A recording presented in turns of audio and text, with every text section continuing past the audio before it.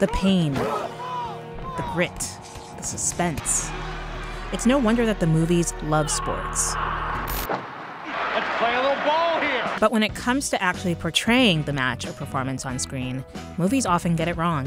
So, what separates a great dramatized display of athleticism from a terrible one? Two things separate realistic sports scenes from ridiculous ones. One, no glaring camera trickery. And two, appropriate casting. Let's start with number one. Any tennis aficionado will tell you it's a notoriously difficult sport to get right on the screen. And one movie that got it very wrong is Wimbledon, the 2004 romantic comedy starring Kirsten Dunst and Paul Bettany. Hit this one, and I'll sleep with you. Oh, oh, I'm so sorry. Bettany, in real life, is obviously not a pro tennis player. But that's not the real issue. The movie's depiction of the famed grass tournament is so bad because the director and editor rely on tacky tricks to manufacture suspense and excitement for the games. The extreme slow motion shots of the ball hitting the net, the blurred camera swipes following the ball as it's volleyed back and forth, the close ups and quick cuts. These all serve to mask that the actors are not top level players and completely obscure the beauty of the game. Tennis is best experienced as it is in real life, in wide shot, with an uninterrupted view of most of the court and the players. Other sports can also benefit from a view that's more similar to real life spectatorship. But this isn't to say that highly stylized camera work and editing are inherently intrusive. Consider the boxing in Raging Bull. Robert De Niro isn't a professional boxer either, of course, but boxing is an up close and personal sport, and the extreme close ups and point of view shots here work to provide that blunt intimacy. The stylization doesn't try to hide the sport, it deepens our experience of it. That brings us to number two appropriate casting. Hiring an actor who can't hit a baseball is forgivable if the athlete being portrayed is a famous historical figure. Say, having Chadwick Boseman play Jackie Robinson, whose life off the field is important to understanding the man.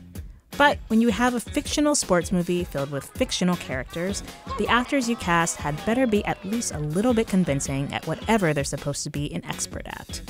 This is not the case with the movie often considered the greatest sports movie of all time, Bull Durham. Even an infrequent baseball watcher can tell something's off with Tim Robbins' technique. His limbs are loosey goosey, and his throwing motion is like a kid's. Yet, he winds up a pro ball player?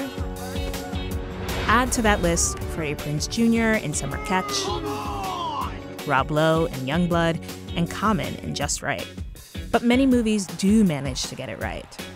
2017's Battle of the Sexes bucked the trend of subpar tennis recreations by hiring professional body doubles for Emma Stone and Steve Carell, and using them often. The historic showdown between Billie Jean King and Bobby Riggs is filmed primarily in wide shots from a distance, allowing the body doubles to do most of the work. The doubles are actual tennis players able to mimic the styles of their real life counterparts quite well, and it shows. These folks don't need to stop doing what they're doing, they just need to get better at it. Another recent film, I, Tonya, also offers a model for how to make an athletic performance by an actor work. In addition to convincing casting and skilled editing, the film makes use of top notch CGI.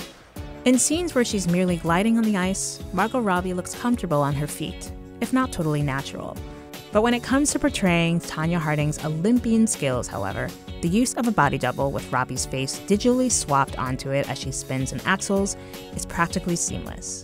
We know Robbie's not actually doing those tricks, and that it's not her performing in front of a packed auditorium. But in the context of the film's overall aesthetic and tone, playful, dark, toying with the concept of fact versus fiction, it works.